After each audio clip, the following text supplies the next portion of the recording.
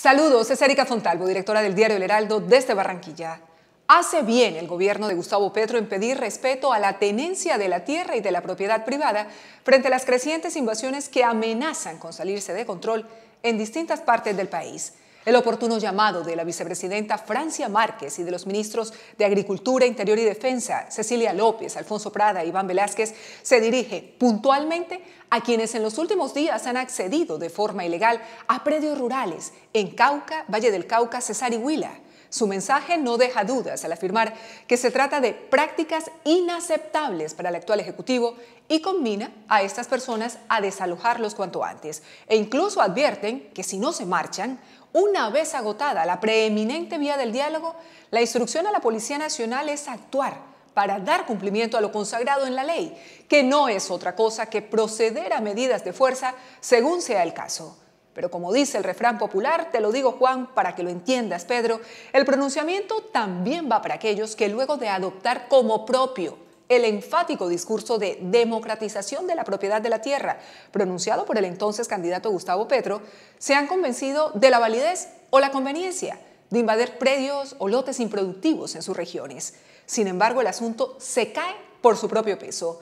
No son terrenos baldíos, sino que pertenecen a personas naturales o jurídicas, o lo que es lo mismo, son propiedades privadas sin uso válido, pero con dolientes, que ahora exigen que el gobierno respetando la institucionalidad, le reconozca sus derechos constitucionales.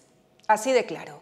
Es incontestable que el argumento de reivindicar los derechos colectivos de la tierra, defendido por sectores que promueven invasiones, empieza a provocarle un insoportable dolor de cabeza al gobierno que apenas se está acomodando e intenta poner en marcha gestiones para buscar equidad en su acceso entre ellas una reforma agraria que apostará por aumentar la productividad del campo, sembrando en hectáreas aptas para hacerlo y abordando complejidades como la concentración de la tierra. Propuesta razonable, enmarcada en las reglas del juego democrático y orientada a solucionar nuestra desigualdad socioeconómica. Pero si las invasiones se multiplican, ya no será viable y la estrategia de convertir a Colombia en una potencia mundial de alimentos podría encallar antes incluso de zarpar lo que también haría impracticable saldar la inabarcable deuda histórica existente con la ruralidad. De ahí la celeridad con la que desde la Casa de Nariño se intenta poner tope, ojalá no demasiado tarde, a una crítica situación que exige además revisar con lupa los anuncios oficiales. La razón Evitar confusiones, pues el mensaje dado por el jefe de Estado de que las propiedades en poder de la Sociedad de Activos Especiales, la SAE, serían destinadas a comunidades asentadas en zonas de riesgo o a poblaciones vulnerables, también allanó el camino a los invasores, hasta el punto de que se podría desencadenar un efecto dominó incontenible, inclusive para el mismo gobierno, que no ha determinado siquiera cuáles podrían ser entregadas. Como si fuera poco, el ministro de Defensa no descarta una posible injerencia de grupos armados ilegales que estarían buscando, ¿cómo no?, pescar en un río bastante revuelto. Independientemente de quienes aparezcan hoy detrás, si grupos étnicos, organizaciones campesinas o familias pobres, la ocupación de tierras no es para nosotros un fenómeno nuevo.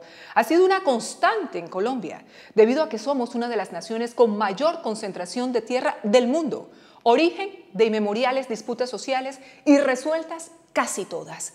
La ley de restitución de tierras no ha sido realmente efectiva, sobre todo porque la guerra sigue sin tregua en la ruralidad, produciendo nuevos despojos cada cierto tiempo, al igual que una violencia irrefrenable. Ahí está el inmenso reto de este gobierno, resolver el conflicto de la lucha por la tierra, especialmente crítico en el Cauca, garantizando el respeto por la ley mientras mantiene espacios de diálogo para cerrar consensos.